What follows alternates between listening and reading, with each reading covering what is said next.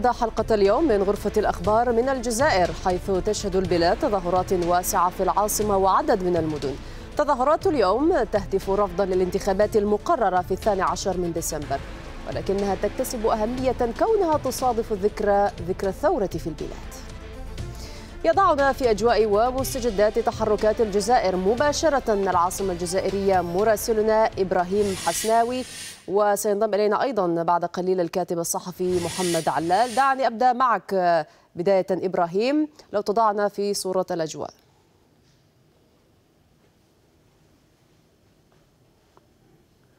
نعم داليا حقيقة الجمعة السابعة والثلاثين للحراك الاحتجاجي في الجزائر كانت استثنائية بامتياز من حيث عدد المشاركين فيها هناك ربما من يقدر المشاركين اليوم بمئات الآلاف خاصة في العاصمة الجزائرية وبعض المدن الرئيسية في الجزائر. كما ذكرت هذه هذه الجمعة تصادف الذكرى الخامسة والستين للثورة الجزائرية التحريرية. وبالتالي فإن هذا كان عاملا مهما للكثيرين من أجل المشاركة في هذه الاحتجاجات اليوم ومحاولة استرجاع زخم الحراك الاحتجاجي الذي تراجع في الأسابيع الماضية. كانت هناك تعزيزات أمنية مكثفة جدا شاهدناها هنا في العاصمة الجزائرية منذ ليلة أمس أغلقت السلطات أغلب أو جل المداخل الرئيسية خاصة إلى ساحة البريد المركزي وساحة الشهداء حيث عادة يجتمع هناك المحتجون حتى قبل صلاة الجمعة وتزداد كثافة هذه الاحتجاجات بعد صلاة الجمعة. الشعار الأبرز الذي تردد اليوم داليا هو شبه إجماع لدى المحتجين على رفض الانتخابات الرئاسية التي قررتها السلطات في الثاني عشر من ديسمبر المقبل. لا يرى المحتجون أن هذه الانتخابات ستكون حاسمة ستؤدي إلى الخروج من هذه الأزمة التي تعيشها الجزائر منذ أشهر لا تتوفر الضمانات لنزاهتها على اعتبار أن من يشرف عليها هم بقايا رموز نظام بوتفليقة خاصة الحكومة التي يرأسها نور الدين بدو. فمن هذا المنطلق هم يؤكدون على رفض هذه هذه الانتخابات ويسعون إلى إسقاطها. هناك أيضا شعارات أخرى تطالب بإطلاق سراح معتقلي الرأي في إشارة إلى الذين اعتقلتهم السلطات منذ بدء الحراك الاحتجاجي في الثاني عشر من فبراير الماضي. هذه الاحتجاجات تأتي أيضا دالية عقب يوم فقط من خطاب رئيس البلاد المؤقت عبد القادر بن صالح والتي توعد فيها من أسماهم بمعرقل الانتخابات وأكد أن السلطة ماضية في هذا الاتجاه اتجاه نعم إبراهيم. الانتخابات وتنظيمها في الثاني عشر من الشهر المقبل. انتهت هذه الاحتجاجات اليوم. لم تكن هناك أي احتكاكات بين المحتجين وقوات الأمن كما ذكرت رغم الإجراءات الأمنية المشددة. نعم دال. شكرا لك مراسلنا إبراهيم حسناوي كان معنا من العاصمة الجزائر.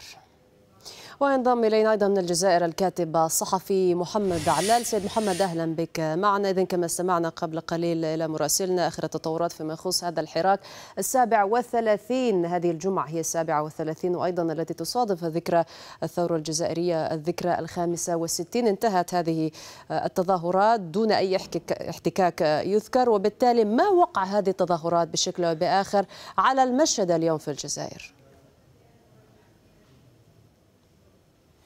مساء الخير. طبعا هذه التظاهرات هي الجمعة الهامة جدا في تقديري الشخصي كمتابعة للحراك الشعبي منذ بدايته في شهر فيفري. اليوم شهدنا هبة شعبية كبيرة للتأكيد على رفض الانتخابات في ظل الظروف السياسية التي تمر بها البلاد.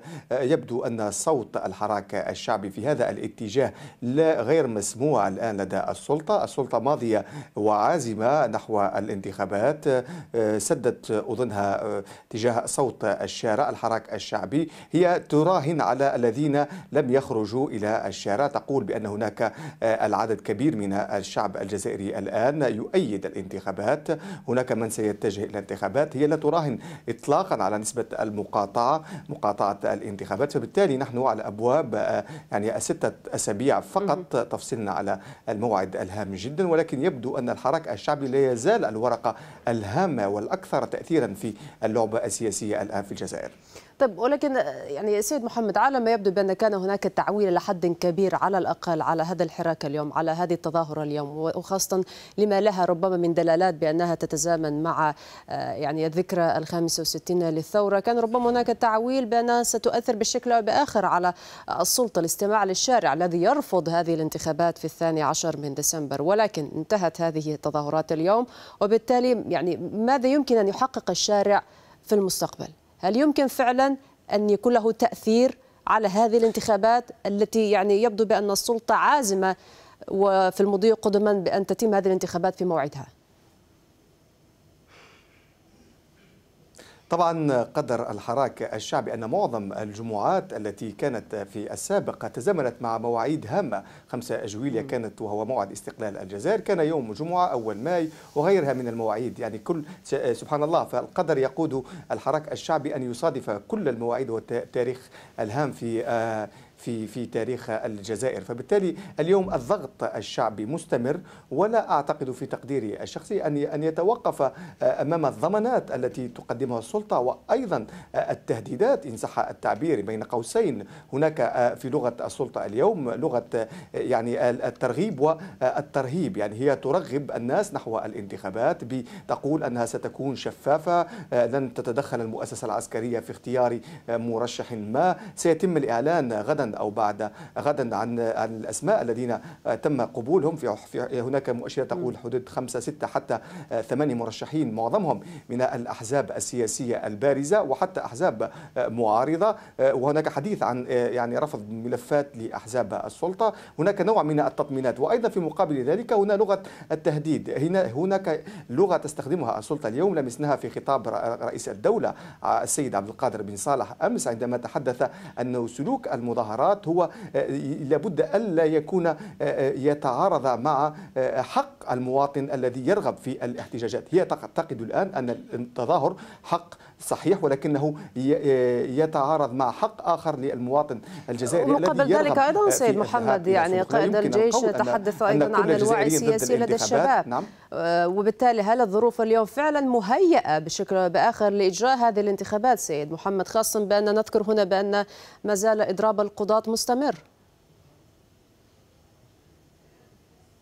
طبعا آه، أنا ما قلت هذا ما أشرت إليه هو يندرج في لغة التر... يعني الترغيب نحو الانتخابات. هي تقول لابد أن الشباب أن يكون واعي بهذه المرحلة الهامة التي تمر بها الجزائر. لا حل لهذه الأزمة سوى الذهاب إلى الانتخابات. كل هذه في لغة الترهي... آه، يعني الترغيب نحو الانتخابات. عمليا يبدو المشهد إيجابي جدا. في فبالتالي فبالتالي إذا لم نذهب إلى الانتخابات إلى أين سنذهب؟ هكذا تقول السلطة في في لغتها وفي طريقتها آه، في في أسلوبها في الخطابات التي نسمعها بين الحين والآخر. ولكن المشكلة الآن أن الحراك الشعبي لا يزال ورقة هامة جدا. هناك مئات الألاف نزلوا إلى الشارع. كيف ستتعامل السلطة مع كل هؤلاء الناس؟ ماذا لو خرج هؤلاء الناس قبل يوم من موعد الانتخابات أو بعد يوم من إعلان النتائج؟ كيف تحسب هذه العملية؟ الورقة الأساسية الحراك التي غيرت المشهد الجزائري بعد 20 سنة من حكم بوتفليقة هي الحراك الشعبي. ولكن يبدو أن السلطة لم تعد تعر اهتماما لهذه الورقة الهامة. هامة جدا طب سيد محمد تأجيل الانتخابات يعني هل هذا السيناريو مطروح بشكل أو بآخر رغم بأن هناك حديث بأن يعني هذه المسألة معقدة دستوريا؟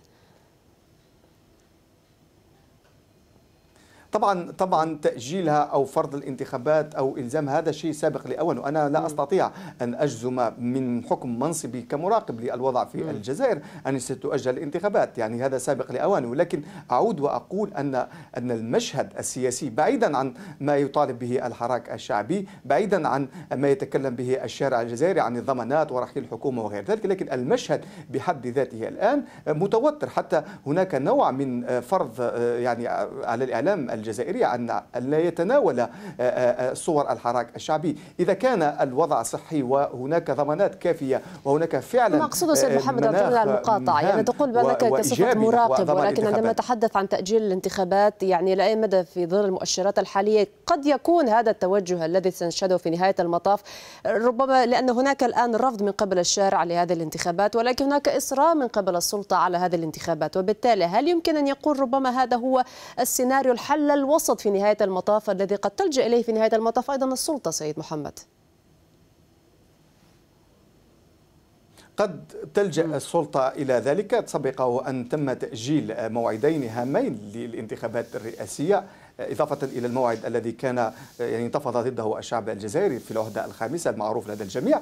ولكن هناك ورقة تأجيل في تقديري الشخصي مطروحة في حال تم الضغط من طرف الحراك الشعبي واستمر لستة جمعات قادمة وليس بالأمر الهين يعني.